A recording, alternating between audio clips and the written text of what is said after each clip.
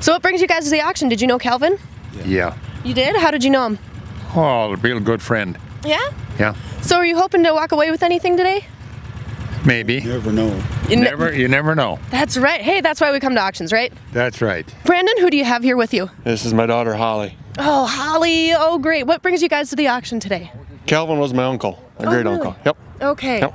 So are you here for support or are you going to try stretch his legacy a little bit with some of his stuff? Oh, we'll try and take something home, I suppose.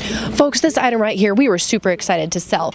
Late model, great condition. I mean, look at these tires. Come on, talk about a ballpark item. It's got PTO. The hours were right in that range where it's not too much and it was affordable. So let's see what the buyer thought about it. Greg Veen, so how do you feel about this tractor? This thing, I swear, is probably the most Goldilocks tractor we've ever sold. I mean, the PTO, you got PTO. The hours are great. What do you think about it? Oh, that's a good deal. Heck yeah. Heck They'll do a lot of work for us. Absolutely. So where do you farm? That's going to Carrington, North Dakota. Well, congratulations on your buy. It was a heck of a buy. Talk about a steal. Yeah, worth the trip. Heck yeah. Yeah, yeah. Well, thanks for coming. Really appreciate you being here. Okay, thank you. Thank you. So where do you farm? That's